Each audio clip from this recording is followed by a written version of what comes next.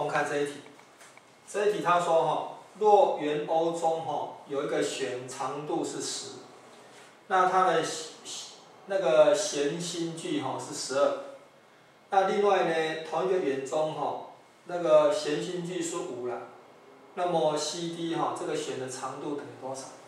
我们现在来看哈，这个弦长度五，你切一半的话哈，哎长度是十啊，切一半的话呢，这个是等于五了。它的弦距是十二嘛，所以这应该多少？是三，也就这个圆的半径是十三啦。那我们再看这个，这个半径是十三，弦距是五嘛，所以这长度多少？这长度十二，所以 CD 啊哈，是两倍的十二乘以十二，所以是二十四。所以这一题哈，应该要选 C。